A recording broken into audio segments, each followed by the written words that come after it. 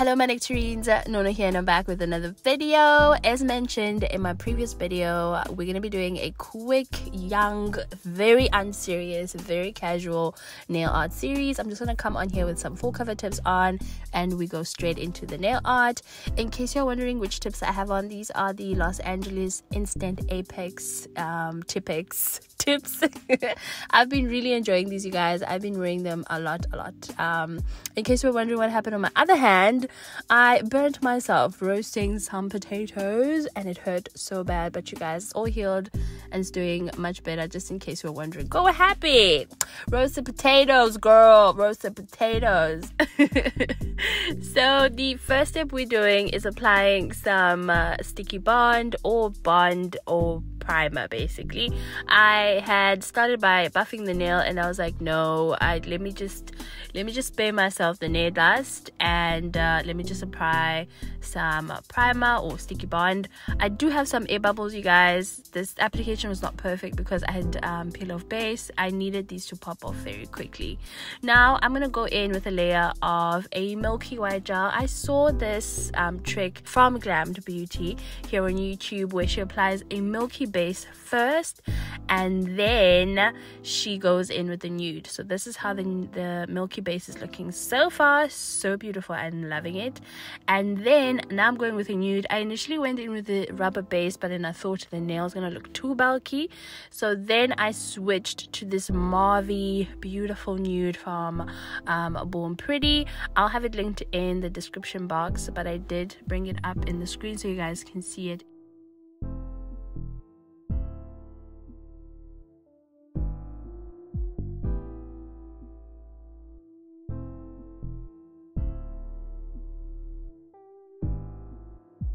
so this is how the color looks with one coat and this is how the color looks after two coats. And not forgetting that i applied that nude base so it makes it look nice and even.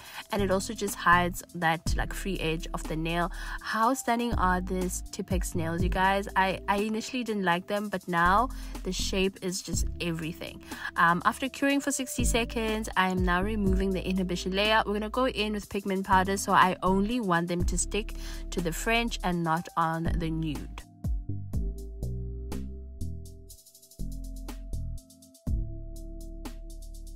Now it's time to do our French smile line. I'm trying my best to not just fumble my way into doing this. So I am marking how deep I want it to go, and then I do the two lines coming from the side walls. And this actually helps. Like I feel like I'm I'm faster, and it's way better than when I'm just like figuring it out as I go. And then obviously I use the brush from the bottle just to fill the non-important stuff. And uh, once I am done I then use my liner brush to clean up and make sure that the line is nice and crisp. You have to have eaten a good breakfast when you're going to do Frenchies. You must not have coffee and you must have not gone out the night before. If you have if you're hungover and you haven't eaten and you had coffee, it's just a disaster. Like it just doesn't work out. So I made sure to have Evo toast and tea and I just felt strong and then when I was doing the Frenchie, it went out perfectly. So don't play with the Frenchie. You you better come right and with a clear mind, or you will fumble so bad, you guys. But anyway, I quickly did the rest of camera, and I absolutely love how they came out. Now that our Frenchie is looking nice and proper and immaculate, it's time to do the pigment powders. You're going to need some fluffy, old, clean brushes and uh, it's time to tap in the pigment. Now, I've done this tutorial before on my TikTok and as a short here on YouTube. I get a lot of questions on how to get it dried So I decided let me make a longer video and show you guys exactly how um, you blend the pigment powders the important thing is just not to load your brush with too much powder. That's why you'll notice that um before I tap onto the nail I also just like rub the brush onto the paper towel releasing most of the pigment. That way the colors can ombre into each other. If you do not tap them off in the side you'll have a harsh line which makes it almost impossible to blend with the next color. Now, when I usually do this design, I usually do just a pink and a neon, but no, I decided to complicate my life this time around and do four colors. Four colors, you guys. Four. I decided I'm gonna ombre four. Wow, wow, wow! What a mission. Um, I did not enjoy it, but it ended up looking absolutely beautiful. So I'm kind of glad that I decided to do so. I also just wanted to mention that uh, you kind of want to check with your lamp whether to cure the white gel for 30 seconds or for 60 seconds.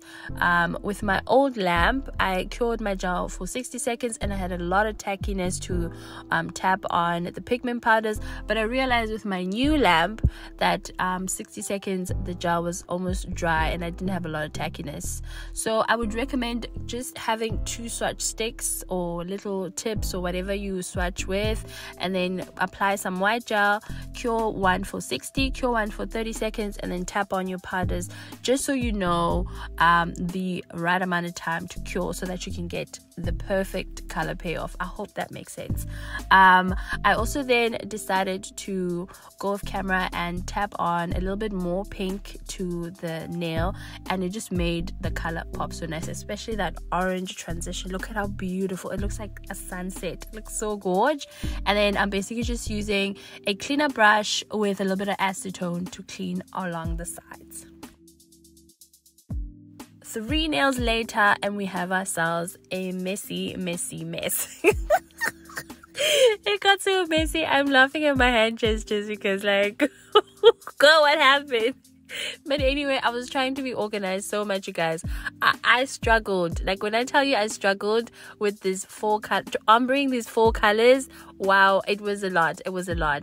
Um, so i just decided to show you guys the thumb and the pinky one last time. Um, i'm starting with the purple and then the pink and then obviously the keys just to make sure that they are not touching. If you look at my middle finger you can see there's like imperfection. I gave up you guys. I was like no like i i, I can't get it perfect. I'm just gonna leave it and move on. Um, and then sometimes i'll notice that there's a, like a little white like line. Oh, it was just a lot. It was a lot.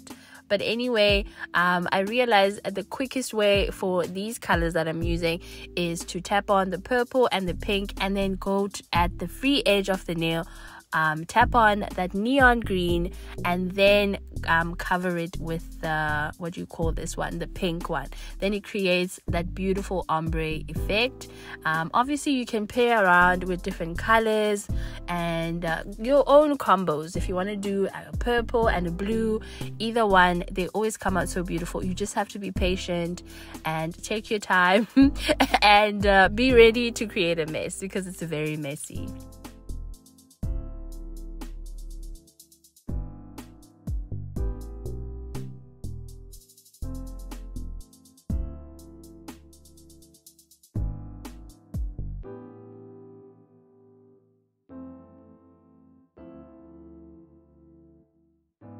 Now I'm going to go and seal everything in with just some regular base coat. This is just going to protect all the hard work we have been doing. It's also just helps with saturating that color and makes it nice and bright and it sinks into that pigment and it just makes it pop so so beautifully.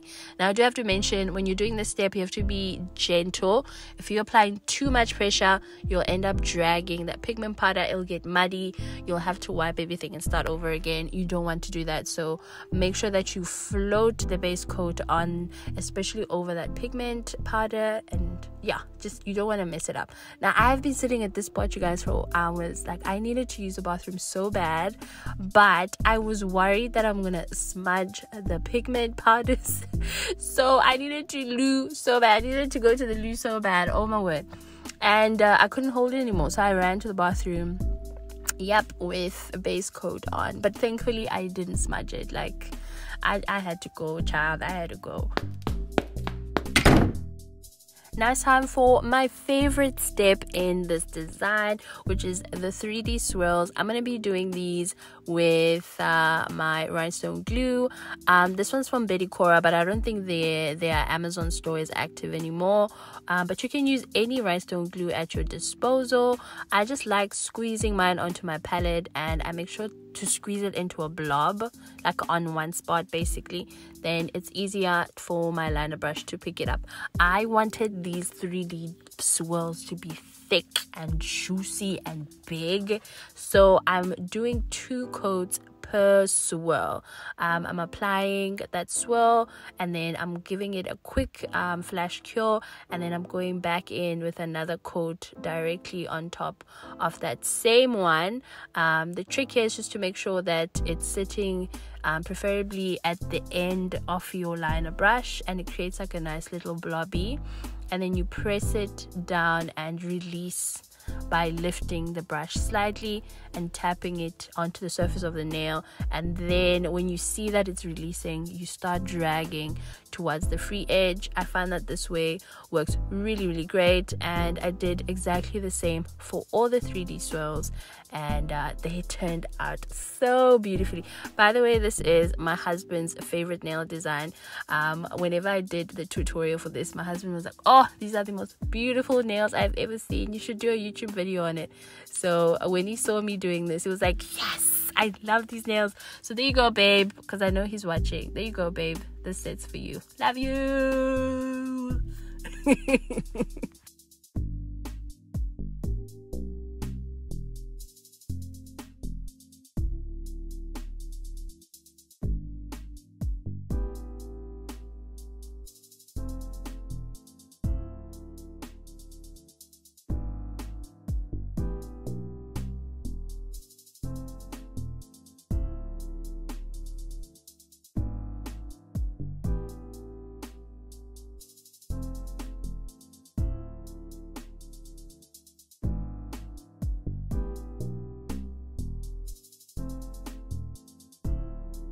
After it's done with all the 3D swirlies, I went off camera and applied my non wipe top coat. Now I'm just finishing everything off with some cuticle oil.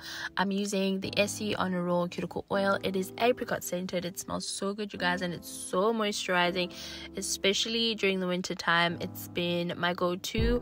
Uh, it's got this like it's giving me old school um, lip gloss vibes. It just applies so so well.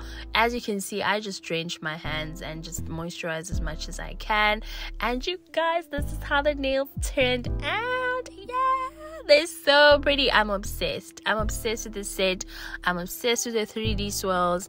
Even though they're slightly going, you know, out of fashion, no one does them anymore. I'm still obsessed with them, you guys. I'm probably not gonna do them again, but I just wanted to be known that whoever what the nail tech was that came up with this design sis 8 like this oh such a beautiful design i love it so much I took so many videos of these nails in different lightings. I'm just like so obsessed how they turned out. They just look so juicy, so summery. They look delicious. Like at some point I wanted to just lick them. They look like they taste sweet. um I just I'm so happy. I'm so so so so happy. I'm already feeling so inspired. I cannot wait to create um the next video, the next nail art. So I'm really happy that um this idea of doing the nail art series is helping me already. Thank you for being here. Thank you for watching. You're also helping me um so much. I appreciate you guys so much, and I love you guys. I know you guys know I love you. You guys know this, right? You guys know it. if you've made it this far, please like the video, subscribe if you haven't, and I'm gonna see you guys real, real, real, real soon. I'm gonna be turning these out this week. Sis is feeling excited. I hope you're having a fantastic day wherever you are. Bye, guys.